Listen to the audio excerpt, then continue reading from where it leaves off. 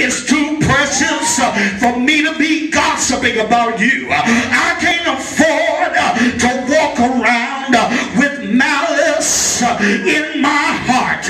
Not if I've confessed with my mouth and believed in my heart. Shake your neighbor's hand and tell them, neighbor.